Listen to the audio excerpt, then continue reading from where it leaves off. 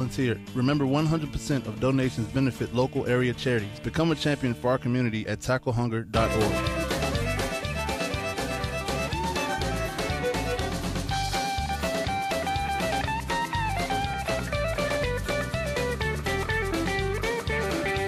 So we took out 10 down to Baton Rouge, drank till 5, slept till noon, then we top off a tank, headed down to New Orleans. Well, there's Cajun food and Marie Laveau and jambalaya and trip, it's Friday night, got all weekend to see the sights, got a tank full of gas, cooler full of beer and ice. Road trip with a truck full of friends, Leo's in the back, he's drunk again, and we're just as fast as we can to the county line. That's Josh Fuller Band. He's going to be uh, his CD release party this Sunday. That's part of our Christmas party. He's going to perform. He and his full band. Got a fiddler. She's apparently a little, cutie patootie. I hadn't met her. I've met Booch, the um the uh, drummer. Booch should get a ding, Ramon, because Booch is good. He's he's the one that played the the Trehan, which is like the cajon, the the drum you sit on but they, it has three drum. It has even has a snare drum, and so that's a very neat deal. And uh, Kevin Klein is one of the best guitarists you'll ever meet. Fantastic, the whole band. Shirley Q. Liquor is going to play. Oh, it's going to be a high time. If you just tuned in this Sunday, it's the Michael Berry Show Christmas party at the House of Blues downtown. But it's a strict guest list because we got way more requests to get in than we can possibly accommodate.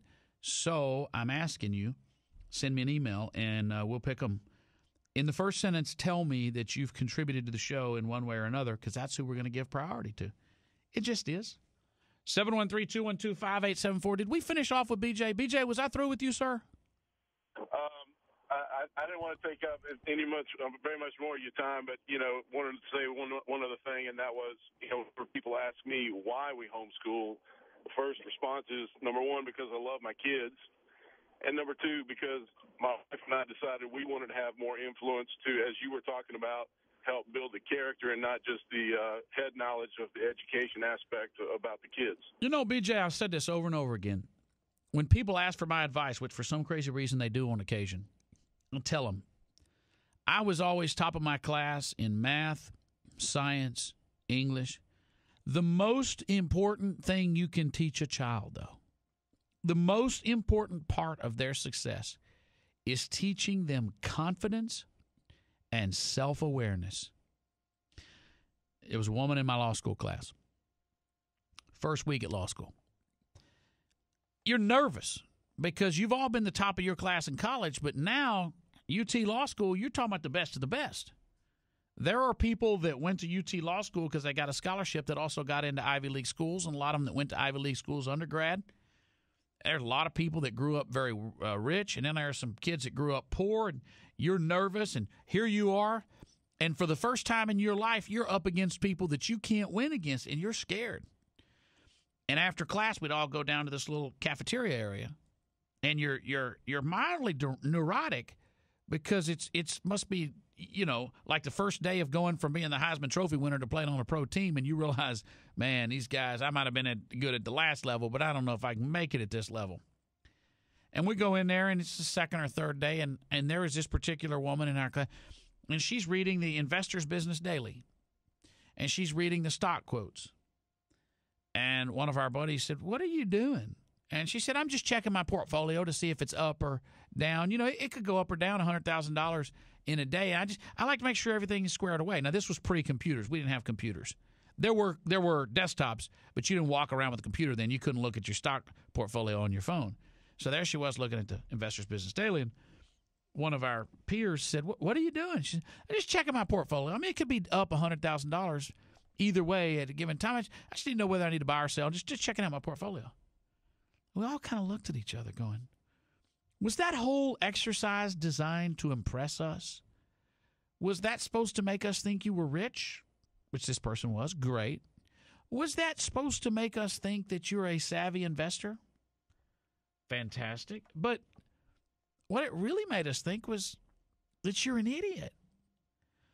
It's like the guy who pulls up to you at the stoplight and he's back in the back seat. He's cocked all the way back to the back seat. He's got his hand over his steering wheel. And he's got his music playing real loud and he's busted out the speakers and he looks over at you and kind of gives you that. He kind of pokes his nose up in the air. And he thinks that you think he's the coolest cat ever. And all you're thinking is, I ought to call your parole officer right now. Lack of self awareness.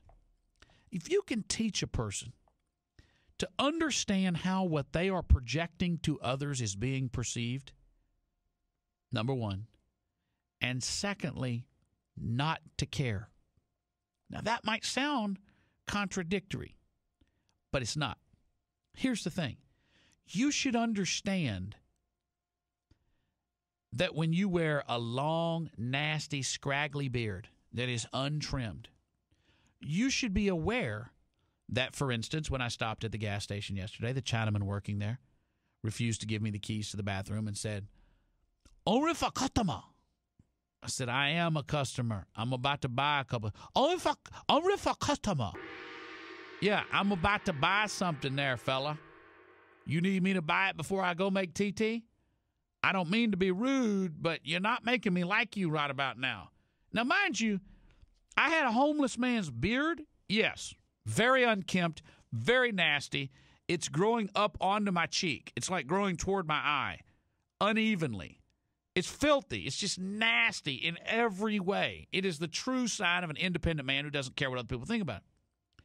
But I'm thinking to myself, I am wearing a Rockmount vintage custom wear Western shirt. I mean, this is a shirt that Porter Wagoner would be proud to wear. This same shirt William Shatner William Shatner wore two movies ago in a. I, it's not a ding if I didn't say I was hanging out with him. I'm telling a story about a human being that everybody knows. Ramon, you're just heavy on the ding today. That's a heavy pour. So, anyway, I'm wearing. It's like I'm wearing. I'm wearing really nice jeans, a nice pair of custom boots, and a Rockmount shirt. Custom vintage. I look like I'm about to go on stage and rock out with my out. And he's not even going to give me the bathroom key. What kind of ignorance is this dude engaged? Anyway, so you should be aware that you are projecting, let's say with my beard, you are projecting the image of an unkempt human being. I'm also refusing these days to cut my hair up top and it goes wild. I am very well aware that people who don't know me are judging me as dirty hippie. People who do know me are going, holy smokes, what's happened to Michael? I am aware of that. I'm not accidentally thinking people will think he's a clean shaven, nice, good looking guy. That's super nice. I feel comfortable around him. But to have the awareness to know what you are projecting to other people, but the confidence not to care if it bothers them. If you can teach those two things and fill the unforgiving minute with 60 seconds worth of distance run, then yours is the earth and all that is in it. And what is more, Ramon, what's the next line? You shall be a, a man, my son. If you can teach your kids that, they can learn all the rest. People get so upset. Does Crockett speak English? Well, not yet. But but he's five. And he don't speak English. What are y'all gonna do? Well, I'm just making sure that he's retaining his Amharic right now and developing his Amharic so he doesn't, for the rest of his life, speak five year old Amharic so that he doesn't lose the language of Ethiopia. Because it's going to be a cool thing for the rest of his life that when he meets someone from Ethiopia, you know, of all the African nations, actually, of all the nations of the world, the most distinctive people in the world, I can pick out an Ethiopian in a crowd and I can't pick out other people. You might know that someone is Asian, but for most of you, you don't know if they're Korean, Vietnamese, Chinese, or Japanese. I mean, within reason. Sometimes you can tell. That's rude, Ramon. But my point is, I want him to hold on to that language. He'll learn English. Maybe not this year, maybe not the next. Maybe he'll be behind in his English. But in time, he'll catch up. He'll graduate speaking the same English. Your kids are going to learn the basics of algebra. Some will be good and some people won't. Some kids will take trig and they'll excel and some won't. Some kid will learn some kids will learn engineering and some won't.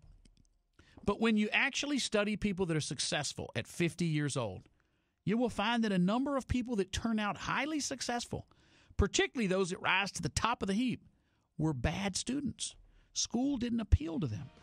and you will find that the valedic, valedictorian, the guy who performed the best in the school setting, and I did, is typically not the most successful in life. They paint within the lines.